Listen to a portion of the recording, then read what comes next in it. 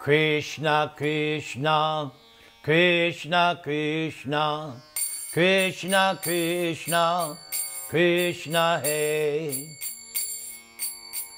Krishna Krishna Krishna Krishna Krishna Krishna Krishna Hey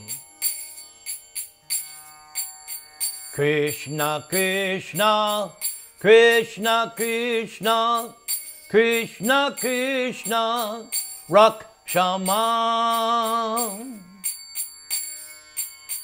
Krishna Krishna Krishna Krishna Krishna Krishna Pahimam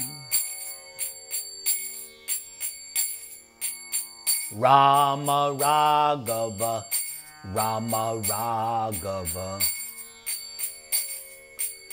Rama Raghava Rakshamam. Krishna Keshava Krishna Keshava Krishna Keshava Pahimam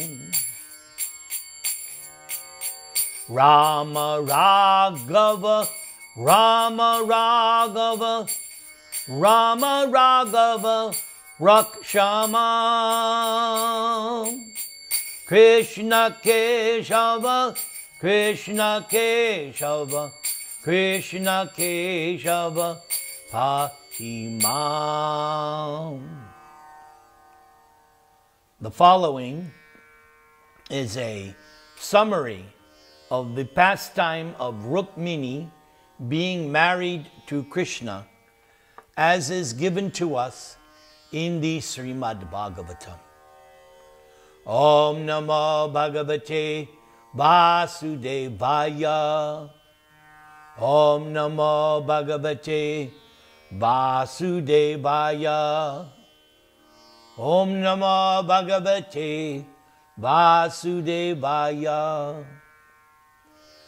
When Sri Krishna returned to Mathura, which was still under siege by the barbarian army of Kalayavana, Krishna destroyed this army, collected all the valuables the soldiers had been carrying, and then set off for Dwaraka. But just then, Jarasandha arrived on the scene with a force of 23 Akshauhinis. Lord Balaram and Lord Krishna, acting as if fearful, left their riches aside and ran far away. Because Jarasandha could not appreciate their true power, Jarasandha ran after Krishna and Balaram. After running a long distance, Ram and Krishna came to a mountain named Pravarshana and proceeded to climb it. Jarasandha thought that Krishna and Balaram were hiding inside a cave, and so he looked all over for them. Unable to find Krishna and Balaram, Jarasandha built fires on all sides of the mountain. As the vegetation on the mountain slopes burst into flame, Krishna and Balaram jumped off the mountain peak. After reaching the ground, unseen by Jarasandha and his followers, Krishna and Balaram returned to Dwaraka fort, which floated within the sea. Mistakenly, Jarasandha thought that Ram and Krishna must have burned to death in the fire. And so Jarasandha took his army back to his kingdom.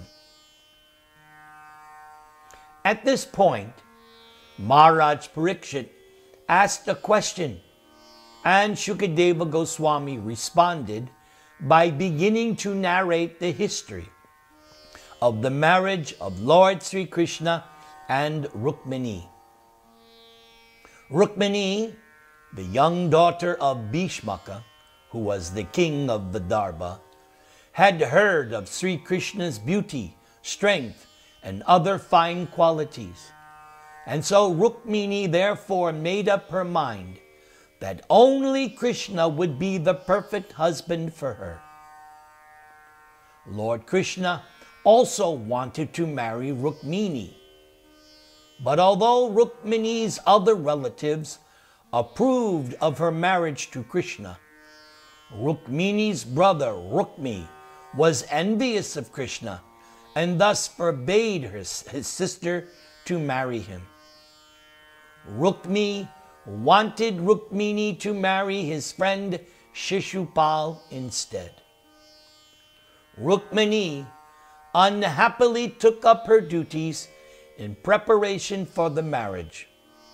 But she did send a trustworthy Brahmana to Krishna with a letter. When the Brahmana arrived in Dwaraka, Sri Krishna properly honored the Brahmana with ritual worship and other tokens of reverence. Krishna then asked the Brahmin why he had come. The Brahmana opened Rukmini's letter and showed it to Lord Krishna, but he had the messenger read it to him. Rukmini Devi wrote, Ever since I have heard about you, my Lord, I have become completely attracted to you. So without fail, please come before my marriage to Shishupal and take me away. In accordance with family custom, on the day before my marriage, I will visit the temple of goddess Ambika and that would be the best opportunity for you to appear and easily kidnap me. But if you do not show me this favor, I will give up my life by fasting and observing severe vows. So perhaps in my next life, I will be able to attain you. After Lord Krishna heard the Brahmin messenger, recite Rukmini's letter, Krishna said, I am indeed attracted to Rukmini, and I also know of her brother's Rukmi opposition to my marrying her. Therefore, I must kidnap Rukmini after crushing all the low class kings, just as one might generate fire from wood by friction since the solemnizing of vows between Rukmini and Shishupal was scheduled to occur in only three days. Lord Krishna had Daruka ready his chariot at once. Then Krishna immediately set out for the kingdom of Vidarbha, which he reached after one night's travel. King Bhishmaka trapped by affection for his son Rukmi, was prepared to give his daughter Rukmini to Shishupal. Bhishmaka saw to all the necessary preparations.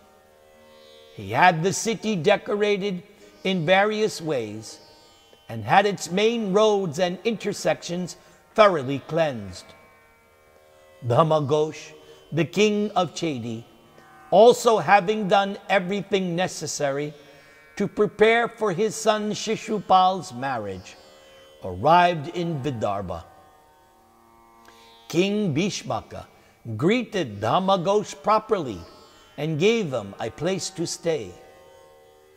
Many other kings, such as Jarasandha, Shalva, and Dantavakra, also came to witness the occasion.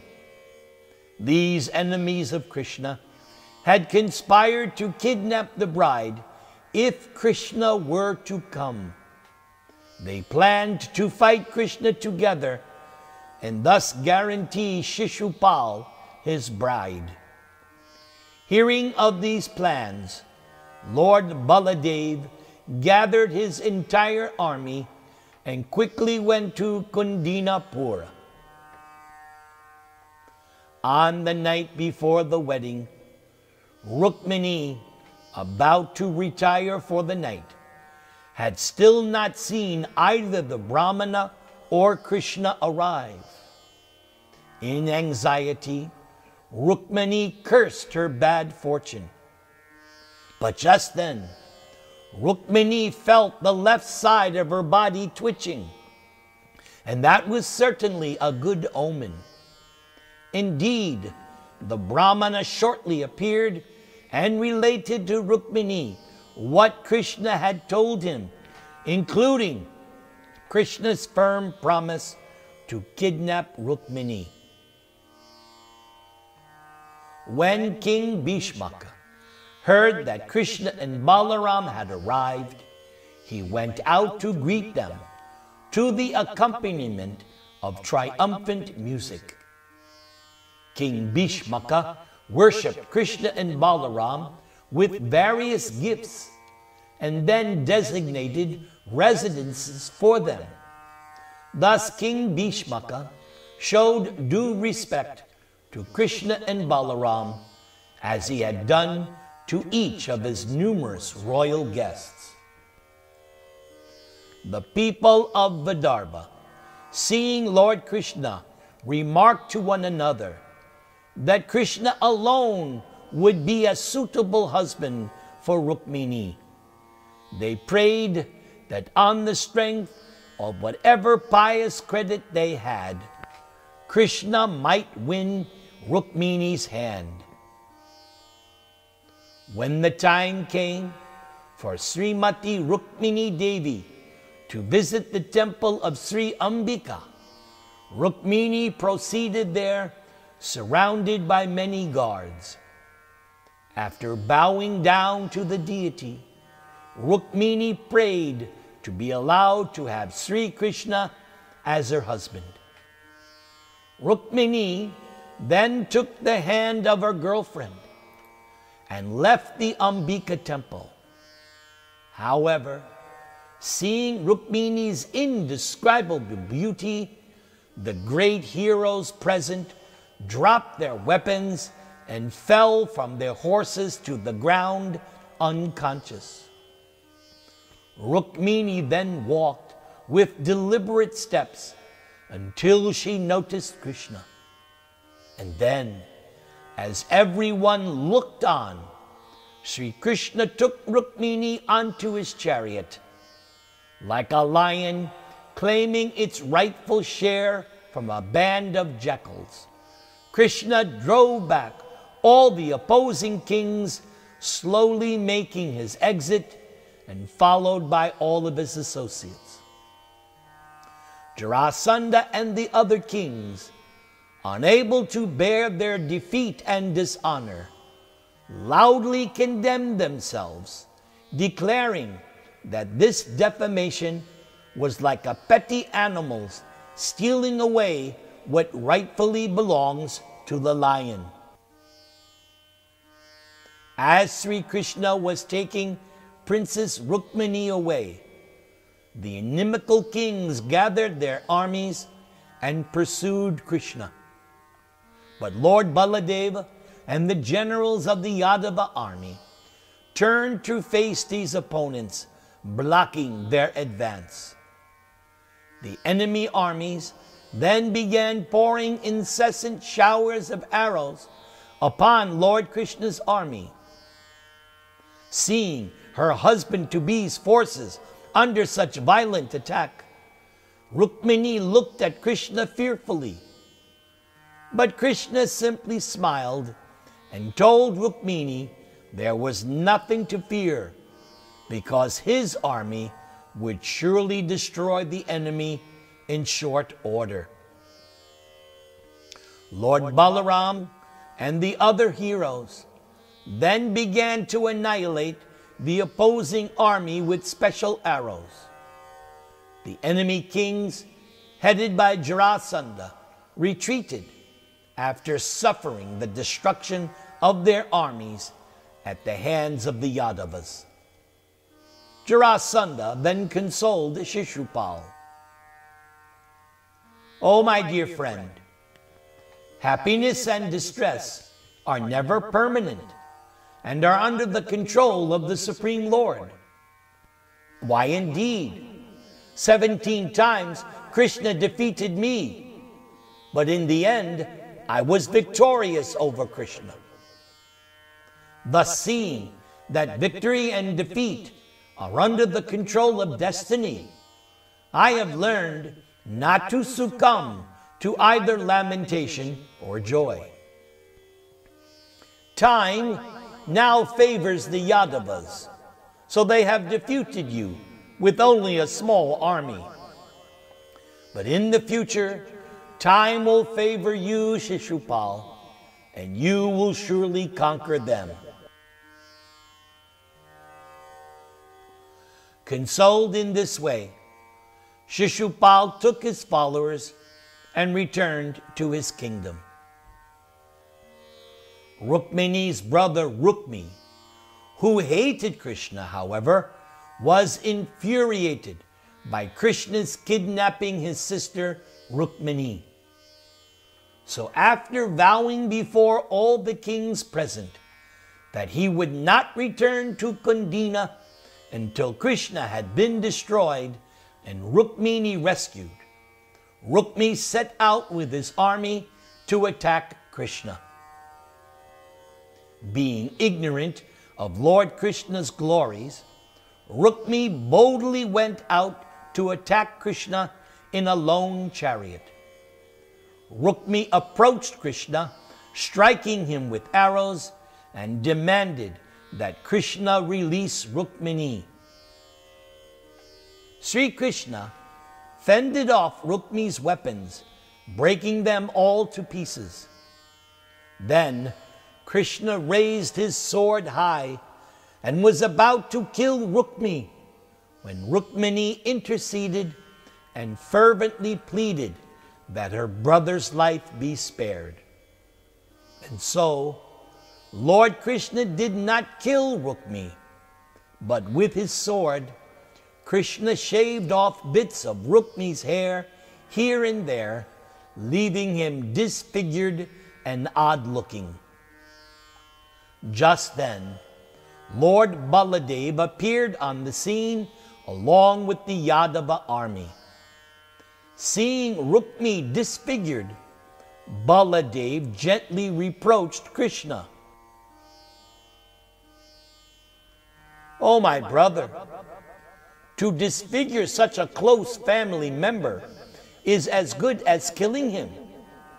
Therefore, Rukmi should not be killed, but instead he should be set free. Lord Baladev then told Rukmini that the sorry condition of her brother was only the fruit of Rukmi's own past work, since everyone is responsible for his or her own happiness and suffering.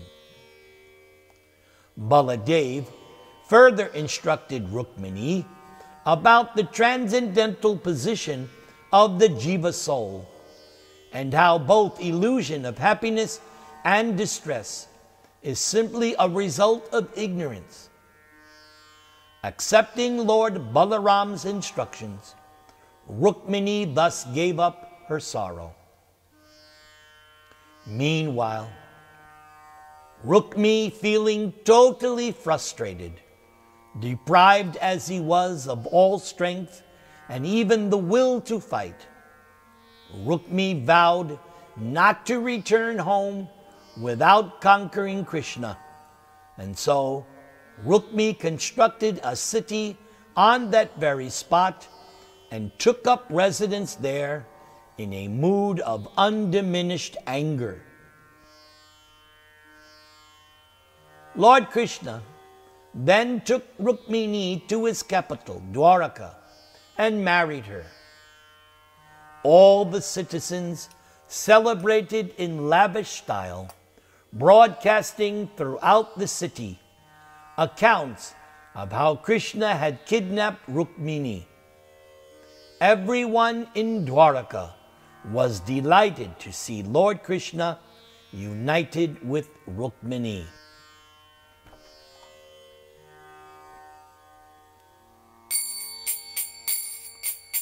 Krishna Krishna Krishna Krishna Krishna Krishna Krishna Hey Krishna Krishna Krishna Krishna Krishna Krishna Krishna Hey Krishna Krishna Krishna Krishna Krishna Krishna Rakshama Krishna Krishna Krishna Krishna Krishna Krishna Pahimam Rama Raghava Rama Raghava Rama Raghava Rakshama. Krishna Keshava Krishna Keshava Krishna Keshava Pahimam Rama Raghava Rama Raghava Rama Raghava Rakshama. Krishna Keshava Krishna Keshava Krishna Keshava Pahima Hare Krishna Hare Krishna Krishna Krishna Hare Hare Hare Rama Hare Ram Rama Rama Hare Hare All glories to Krishna's pastimes. All glories to his divine grace. A.C. Bhaktivedanta Swami Srila Prabhupada.